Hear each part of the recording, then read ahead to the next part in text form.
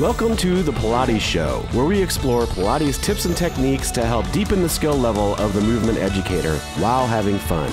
We're going to talk a little bit about how to think about initiating um, arching and curling in the pelvis or bridging by thinking about unweighting or freeing the sacrum um, from the floor before we go into movement. So if you come into your hook lying position, feet flat, pelvis neutral, spine and head released, I like to cue sinking the feet into the floor first. And so when I sink my feet into the floor, it's an imperceptible movement to anyone looking at me, but I've just unweighted the back of my pelvis and sacrum. And so this really helps clients feel how heavy the bones of their sacrum and pelvis are and kind of get a better idea of where they are in space. And then they can just release the weight of the bones and tissue back into the floor. So it's a very tiny, small, subtle movement. They would inhale to prepare, exhale, sink the feet and unweight the back of the pelvis and sacrum. And so my clothing is still con contacting the floor, but the weight of my bones is no longer fully released into the mat. And then from this hovering kind of unweighted position, I have options.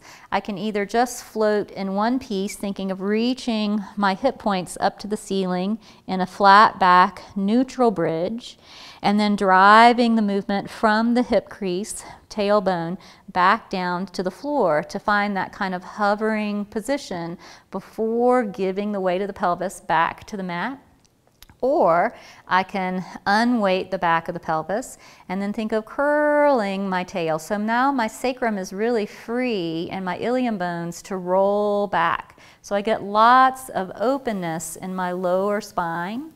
And then from there, I can continue to roll up and articulate into my bridge and I can roll back down, trying to find that hovering curled, released pelvis and sacrum before I release fully back down to the floor, giving the weight of the pelvis back to the mat.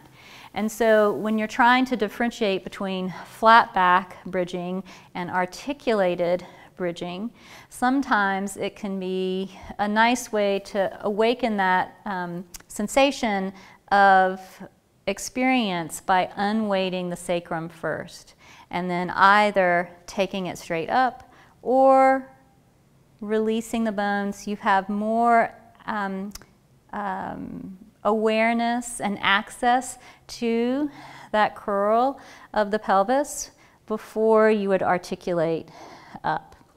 And it's a nice way, again, to ensure that they understand the difference between that articulated pelvis and that neutral flat back bridge if you help them understand how to unweight the sacrum first.